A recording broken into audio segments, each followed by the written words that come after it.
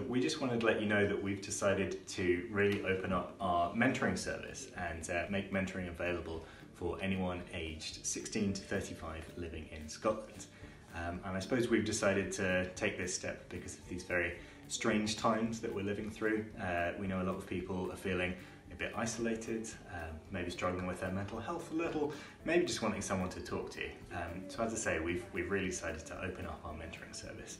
Uh, and the way this will work is uh, we'll match you up with one of our amazing Project Scotland volunteer mentors, um, and they can give you a bit of support with pretty much whatever you would like a bit of support with. Uh, that could be planning for the future, figuring out what you'd like to do once all this blows over.